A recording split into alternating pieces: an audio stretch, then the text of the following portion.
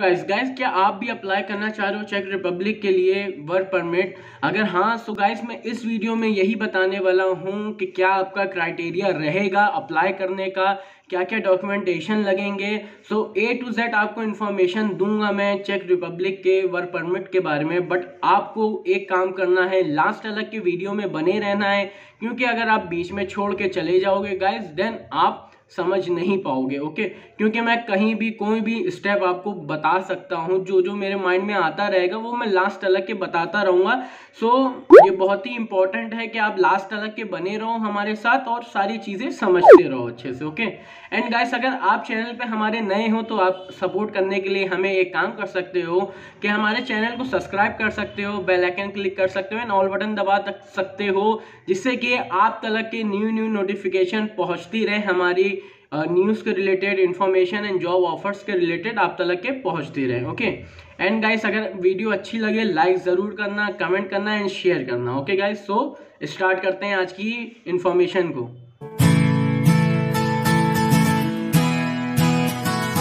सो so guys आज की information जैसे कि मैंने पहले भी बता दिया कि चेक रिपब्लिक के वर्क परमिट के रिलेटेड है। So first of all actually में मेरे एक सब्सक्राइबर हैं जिन्होंने मुझे कमेंट किया था कि सर मुझे ये बताओ कि क्या एज फैक्टर रहता है चेक रिपब्लिक में वर्क परमिट अप्लाई करने के लिए? सो so, मैंने उसको बहुत एनालाइज किया। एनालाइज करने के बाद उसके ले मिनिस्ट्री ऑफ़ लेबर की वेबसाइट पे मैं गया और चेकआउट किया तो मुझे काफ़ी सारी डिटेल्स मिली। ओके?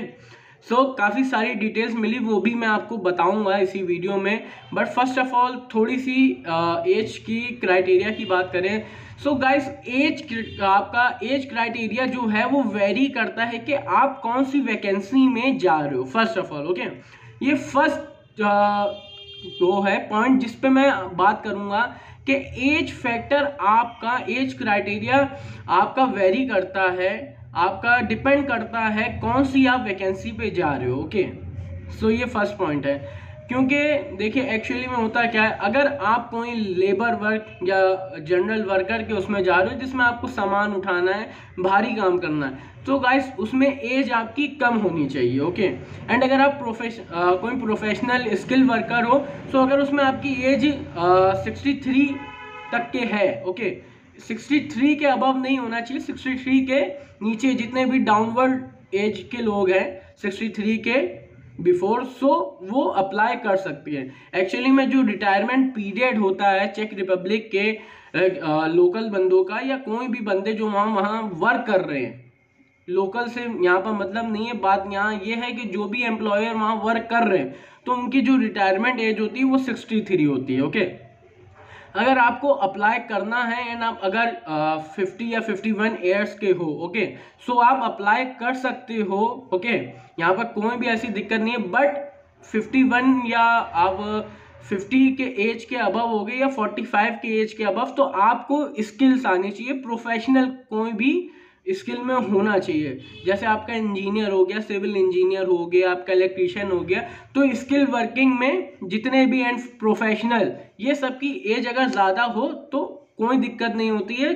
जो भी कंपनी आपको ऑफ़र करती है वर्क परमिट, सो वो आपको आराम से ले लेती है। बट अगर आप जहाँ पर कोई हैवी इक्विपमेंट्स उठाने की होगी तो वहाँ पर आपकी एज कम होनी चाहिए। सो ये क्राइटेरिया जो था, एज क्राइटेरिया वो सॉर्ट आउट हो गया, सॉल्व हो गया, ओके?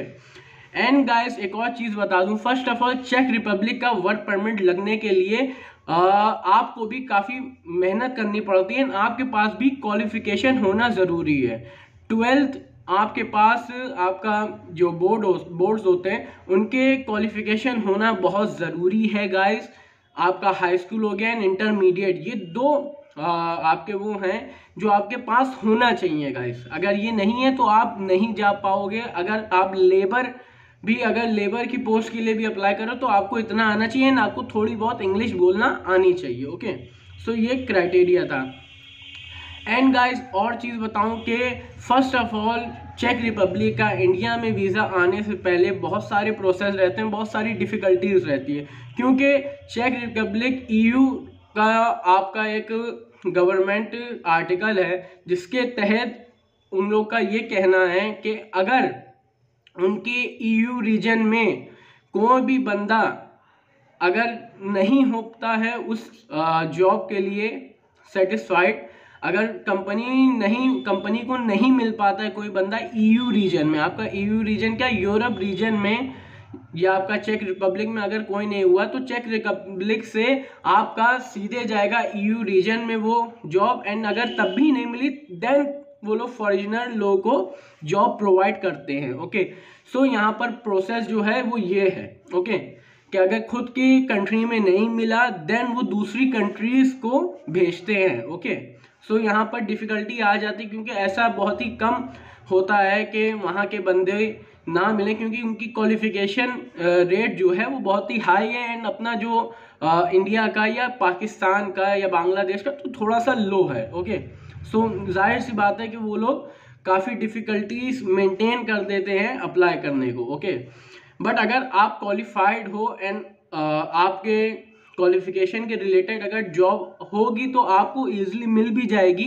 बट वही है कि एक बार आपके पास स्ट्राइक करे वो जॉब बस, ये चीज़ मेन है ओके क्योंकि वहाँ का लॉ के हिसाब से थर्टी डेज़ वन मंथ तक के वो जॉब जो रहेगी, वो चेक रिपब्लिक एंड ईयू रीजन में घूमती रहेगी, इधर से उधर, इधर से उधर, कि कोई भी बंदा उसको अप्लाई करते हैं। अगर तीस दिन के अंदर नहीं होता है देन वो बाहर कंट्रीज़ को प्रोवाइड करते हैं ओके सो ये थी कुछ चीज़। एंड गाइस आपके डॉक्यूमेंटेशन देखिए वर्क परमिट में भी वही लगते हैं जो कैजुअली दूसरे वर्क परमिट में लगते हैं। आपके फ़ोटो आपके पासपोर्ट आपके एजुकेशन सर्टिफिकेट सारी चीज़ें सेम रहती हैं। आप, आप आपके पास जो भी डॉक्यूमेंट्स हैं आप उसकी पीडीएफ बना सकते हो एंड वही डॉक्यूमेंट सेंड कर सकते हो। फिर बता दूँ आपका पासपोर्ट साइज़ फ़ोटो लगेगा आपकी स्कैन कॉपी लगेगी एंड आपका पासपोर्ट वैलिड होना चाहिए। अगर आप जा रहे हो वहाँ तो आपका तीन थ्री मंथ्स बिफोर की वैलिडिटी का पासवर्ड होना चाहिए। अगर तीन महीने में जैसे आपका एक्सपायर हो रहा है एंड आप उससे पहले जाओगे तो ही तीन महीने पहले जाओगे तो ही आप वहाँ जा सकते हो ओके सो ये कुछ क्राइटेरिया डॉक्यूमेंट्स के रिलेटेड एंड कैजुअली जब भी हम वर्क परमिट लगाते हैं तो खुद भी बंदे को ये मालूम होता है अगर मैं वर्क परमिट के लिए जा रहा हूँ तो मेरी वैलिडिटी अच्छी खासी होनी चाहिए। तो सारी चीज़ें सेम है बस बात यही है कि री, उस रीजन से हमारे कंट्री सलग के आने में बहुत डिफ़िकल्टीज है क्योंकि क्वालिफिकेशन रेट हाई है बहुत एंड ऐसा नहीं काफ़ी ज़्यादातर ऐसा नहीं होता है कि जॉब्स स्ट्राइक करें आउटर कंट्रीज़ को आउटर कंट्रीज़ के कैंडिडेट्स को ओके बट जो छोटी छोटी जॉब्स होती हैं आपकी जनरल वर्कर्स लेबर्स की तो ये सब आती रहती हैं गाइस ओके सो इस पर आप अप्लाई कर सकते हो बट इसके पे भी आपके पास टेंथ ट्वेल्थ मार्कशीट होनी चाहिए ओके आपका high school and intermediate complete होना चाहिए एंड आपको थोड़ी बहुत इंग्लिश बोलनी आनी चाहिए ओके ये कुछ क्राइटेरिया रहता है ओके सो गाइज़ ये कुछ इन्फॉर्मेशन थी आपका चेक रिपब्लिक के वर्क परमिट के रिलेटेड अगर आपको लगे कि कोई और चीज़ मिस आउट है तो आप कमेंट करके हमें बता सकते हो। एंड uh, देन हम उस पर और वर्कआउट करेंगे एंड आपको बताएँगे। बट एज क्राइटेरिया भी मैंने बता दिया कि अगर आप कोई भी भारी काम करने जा रहे हो कोई भी लेबर के रिलेटेड या जनरल वर्कर के रिलेटेड आपकी देन एज 45 के नीचे होना चाहिए। एंड अगर आप कोई स्किल प्रोफेशनल हो तो देन वहाँ पर यह बात आ जाती है कि आप अगर 50 या 51 एज के भी हो तो अप टू 63 एज के बंदे जो हैं अंडर जो 63 के एज के अंडर आते हैं, वो कोई भी जॉब कर सकते हैं जो कि आपका professional line and skill worker से रिलेटेड हो ओके ये थे कुछ पॉइंट्स क्योंकि गाइस देखो, आजकल के टाइम में क्या चल रहा है? चेक रिपब्लिक का, अगर यूँ बताऊँ तो मैंने एक और वीडियो बना के रखा है जो कि वहाँ की टीआरसी अप्लाई करने का है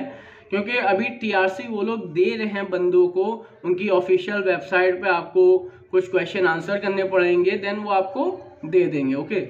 आपको टीआरसी इजीली मिल जाएगी। सो so, आप चेकआउट कर सकते हो वीडियो को आपको आई बटन में मिल जाएगी ओके सो so, ये क्राइटेरिया था। कि आपके पास क्या क्या डॉक्यूमेंट्स रहना चाहिए? आपका पासपोर्ट स्कैन कॉपी आपका पासपोर्ट साइज़ फ़ोटो रहना चाहिए एंड आपकी पासपोर्ट्स की वैलिडिटी ज़्यादा होना चाहिए क्योंकि आप वर्क करने जा रहे हो तो ज़ाहिर सी बात है हर बंदे को ये मालूम है कि वर्क परमिट करने जा रहा हूँ तो उसकी वैलिडिटी पासपोर्ट की ज़्यादा होना चाहिए ओके आपके एजुकेशन सर्टिफिकेट जो भी आपके रिलेवेंट फ़ील्ड के आपके पास सर्टिफिकेट है, वो, आपका एक्सपीरियंस सर्टिफिकेट ये सारे डॉक्यूमेंट्स आपके पास मेंटेन होना चाहिए ओके सो ये कुछ पॉइंट्स थे। अगर आपको लगे कि कुछ और चीज़ भी मैंने मिस आउट कर दी है एंड गाइस एक और चीज़ बता दूँ मिस आउट कुछ नहीं किए मैंने, अपने जितना मैंने देखा कि सारी चीज़ें जो हैं वो सेम है, जो भी चीज़ अलग थी वो मैंने बता दी। बट देखिए, अभी तो हमारे पास कोई भी चेक रिपब्लिक का वीज़ा वर्क परमिट नहीं आया वर्क वीज़ा बट जैसे ही आएगा, वैसे ही हम उस पर वीडियो बनाएँगे। बट मैंने जो जो बोला है, वही सारी चीज़ें इम्प्लीमेंट हैं इस प्रोसेस में। एंड आपका क्राइटेरिया कोई भी ज़्यादा कोई हाई नहीं है आपका। बस वही वाली बात है वेरी करता है आपका क्राइटेरिया कि आप कौन से वैकेंसी के लिए जा रहे हो, कौन सी कंपनी में जा रहे हो, उनका क्या क्राइटेरिया ओके बट मैंने लास्ट रिटायरमेंट एज बता दी कि कोई भी बंदा 63 एज का हो गया देन वो रिटायर हो जाता है, फिर वो उस हाल में नहीं होता, वहाँ के हिसाब से कि वो वर्क कर सके ओके ये था पूरा इन्फॉर्मेशन ओके सो सारी चीज़ें सेम है कैजुअली वर्क परमिट के रिलेटेड बस एक बार आपके पास जॉब ट्राई करना चाहिए एंड देन सारी चीज़ें डिपेंड करती हैं कंपनी पे कि उनका क्या क्राइटेरिया है, आपको किस एज पे वो अप्लाई करवा सकते हैं ओके सो ये सारी चीज़ें वेरी करती हैं कंपनी के कि कैसी, के मतलब किस तरीके के बंदे वो चाहते हैं, कैसे वो बंदे चाहते हैं ओके सो गाइज़ ये इन्फॉर्मेशन यहीं ख़त्म होती है। अगर आपको, फिर कहूँगा, अगर आपको लगे कि कुछ मिस्ड आउट हुआ आपकी तरफ़ से तो देन आप कमेंट करके फिर से बताना, फिर से एक और वीडियो बना दूँगा मैं, जिससे आपको बता दूँ अच्छे से कि क्या क्या पॉइंट्स थे एंड उसके अंदर एडिशनल अगर कुछ मुझे लगेगा कि बताना चाहिए, वो भी मैं बता दूँगा ओके सो गाइस यहीं पे होती है ख़त्म आज की हमारी वीडियो अगर अच्छी लगे लाइक ज़रूर करना शेयर करना। अगर आपको लगे कि दूसरों तरह की इन्फॉर्मेशन पहुंचनी चाहिए एंड लाइक ज़रूर करना। कमेंट बॉक्स में कमेंट करना ना भूलना। एंड नेक्स्ट टॉपिक के बारे में ज़रूर बताना कि कौन से नेक्स्ट टॉपिक पे हमारी वीडियो होना चाहिए। सो so गाइस फिर मिलेंगे एक और बहुत ही अच्छी इन्फॉर्मेशन के साथ, बहुत ही अच्छी न्यूज़ एंड जॉब ऑफर्स के साथ बट तब तक के लिए वेट करना। फिर से मिलेंगे। Bye and take care